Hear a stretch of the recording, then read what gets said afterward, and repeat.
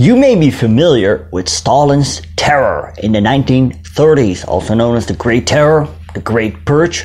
But have you ever heard of the Red Terror, which occurred in 1918? The Bolsheviks had seized power in Petrograd, Moscow, and other key Russian cities late 1917. They later signed the Brest-Litovsk Treaty with the Central Powers, which pulled them out of the war. But then they unleashed terror to their own population. Why was this? What happened? How many people were killed? You will find out in this video. I'm going to talk about the Red Terror. Hey, welcome back on the channel and welcome to another episode of Revolutionary Russia.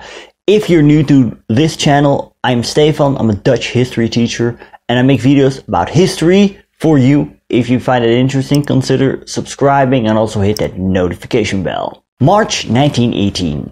The Bolsheviks signed the peace treaty of Brest-Litovsk with the Central Powers, and this pulled them out of the First World War. As a result of this, Russia, or rather called Soviet Russia, had to cede large strips of land to the Central Powers.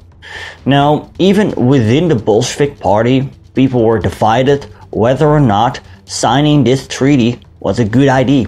But also, other revolutionaries, I'm talking about the left SR, the Socialist Revolutionaries, they were against this. They assassinated the German ambassador. And in the summer of 1918, they launched an uprising against the Bolsheviks, which was crushed by pro-Bolshevik forces. Also, that summer, the former Tsar and his family were executed in Yekaterinburg by a Cheka firing squad. According to historian Orlando Figes, the Red Terror did not come out of the blue. It was implicit in the regime from the start, as Kamenev and his supporters had warned the party in October. The resort to rule by terror was bound to follow from Lenin's violent seizure of power and his rejection of democracy the Bolsheviks were forced to turn increasingly to terror to silence their political critics and subjugate a society they could not control by other means. The direct cause of the Red Terror occurred in September 1918. Interesting enough is that Lenin became a public figure when he was about to die. Before that, many Russians would not recognize him. Because earlier that year, in January 1918, his car was taken under fire. It was a failed assassination attempt. And after this, he was barely seen in public. But on August 30th, 1918, he visited an arms factory in southern Moscow. When he was about to leave, a young Russian Jewish woman went by the name of Fanny Kaplan, she walked forward. She raised a pistol and fired three shots on Lenin. As Lenin fell to the ground, Kaplan was eventually arrested. She, as a socialist revolutionary, believed that Lenin was a traitor to the revolution. And the left SRs had launched a revolt against the Bolsheviks, which was snuffed out. Lenin was rushed to the hospital, and it seemed he was about to die.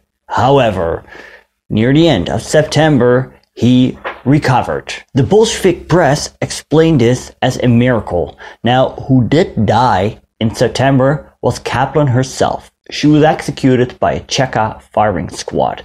So, what about the Cheka. The All-Russian Extraordinary Commission to Combat Counter-Revolution and Sabotage, was the Bolshevik secret police. The Cheka HQ was located in a former Tsarist police building in Petrograd. Later, it moved to Moscow and established its HQ in the Lubyanka building, the former All Russia Insurance Company building. And by that point, it had around 600 men in its ranks, which soon increased to 1,000.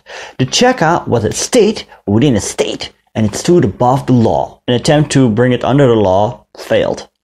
The Cheka was led by Felix Dzerzhinsky, and he was a Polish former social democrat. He came from a modest gentry family in the Vilna region. During his teens, he became involved in underground political activity and spent much of his years in Tsarist prisons. He was liberated from these prisons in March 1917.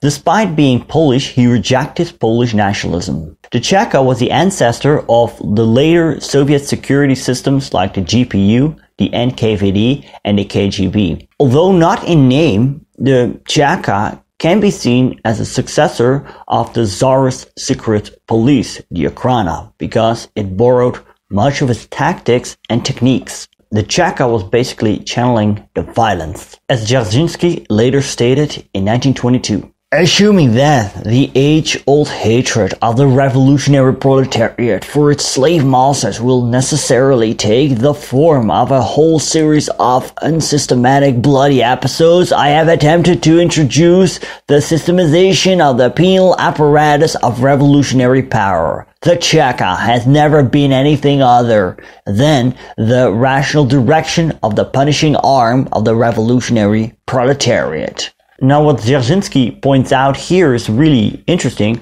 because he speaks of an age-old hatred, and historian Orlando Figes he also talks about this.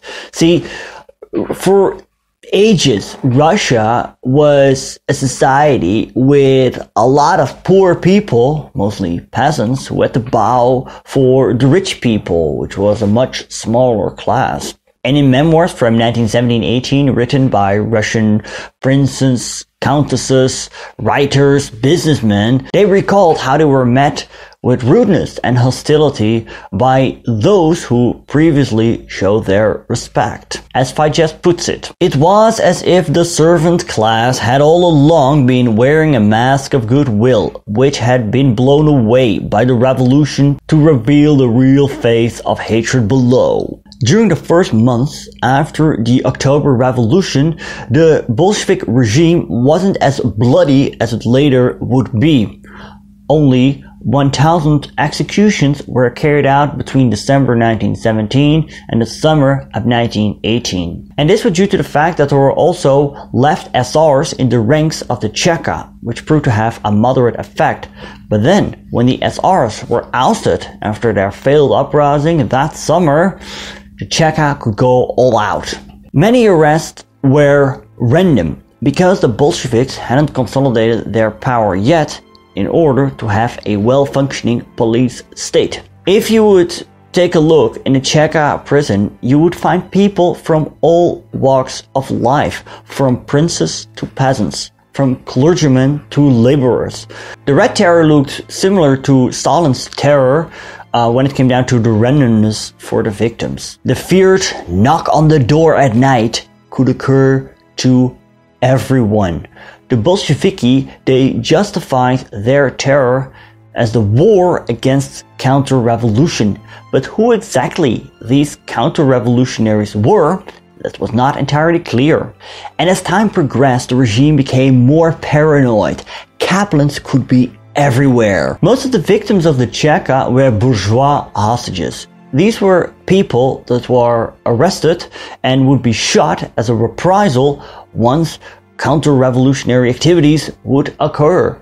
Most of these people were innocent and were just unfortunate to be around once an act of sabotage or something like that occurred. The frenzy was the worst outside of the big cities, where local Cheka bosses ran their own kingdoms, so to say, inspired by Lenin's words that it was better to arrest 100 innocents than to let one guilty person go free, they went out of their way to make the most arrests. The randomness of the arrests and the ungroundedness went through the roof. One man was arrested because he possessed a photo of someone in judicial clothing. This photo was from the 1870s. Another person was arrested because he had skipped the line. Actually, he didn't skip the line. No, he saw two other people skipping the line. He called them out for it. And then these two people reported him and he was arrested. And many people were also arrested because of their surname. Those who had a common surname ran the most risk of being arrested. The conditions in the Cheka prisons were often much worse than they had been in the Tsarist prisons. Lack of sanitation and poor food resulted in epidemics. The Peter and Paul Fortress in Petrograd that stood as a symbol of the horrors of the Tsarist regime was now a worse place to be than it ever had been. Compared to this, the old regime prisons looked like a holiday camp. The torture methods that the Chekists applied were medieval to say the least. Many of the Cheka executioners, they were confronted with Tsarist oppression in earlier years and now implemented this on their hapless victims. Others were scarred by years of war and revolution, and there were also women in the ranks of the Cheka. There were many sadists among them, and they competed with one another who could go the furthest. When I visited the East Ukrainian city of Kharkiv in the summer of 2019, I visited a building which survived the Second World War which used to be a former Cheka HQ. The inhabitants they told me that victims were thrown down the stairwell head first. And they also told me that once mechanics visited the basement of the building to do some checkups, they found old bloodstains on the wall. Uh, the torture methods that were implemented are outrageous and, you know, if you want to know them, look them up for yourself. The executions were the final product of this machinery of terror. Tens of thousands of summary executions were carried out in courtyards and cellars or in deserted fields on the edge of towns. As the civil war kicked off, whole prisons were emptied so these people could not be captured alive by the whites. It is hard to say how many people died as a result of the terror by the Cheka. Do we also include um, civilians that were slaughtered by the Red Army during the Civil War? According to historian Orlando Figes, we may never know the exact number of deaths during the Red Terror. The number is most likely in the hundreds, thousands. Some historians even claim over a million people were killed in the Red Terror. The Red Terror led to protests also within the Bolshevik party. Members like Kamenev and Bukharin claimed that Cheka was abusing its power. Yet, hardliners as Trotsky, Stalin, and Lenin remained firm in their stance that the terror was necessary to make the revolution a success. Stalin would later surpass this. Now, many, I call them Lenin apologists, or people who think that Lenin was a good guy claim that Lenin didn't know of the terror and was even against it. Well, Lenin had always accepted the need to use terror in order to defend the revolution. It was a weapon in the civil war. Of course, he was careful to distance himself in public from the institutions of the terror. Others put their signature to its death warrants.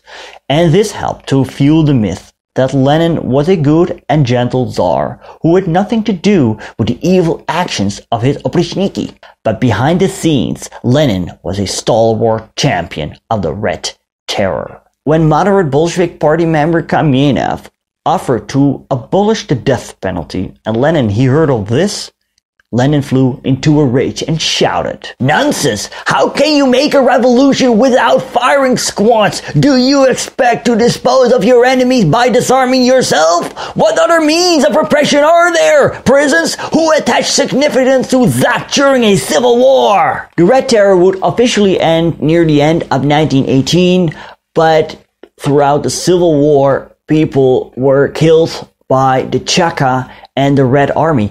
And then, speaking of the Civil War, there was also the opponent, the Whites, and the White Terror. And all that will be covered in the future. Big shout out to my patrons and a special thanks to Janusz Dozhankiewicz, Joanne, Justin Trebell, Peter King, Tanya Dixie, Henry Clarkson, Rob Park, Andrea Martic, and Fernando Lopez Ojeda. Hey, if you want to support me, you can also support me via PayPal. The links are in the description. And if you've missed the earlier episodes of Revolutionary Russia, I have the playlist for you. It's right here. Thank you for watching. Leave a comment and do not forget to subscribe. Das Fedenya.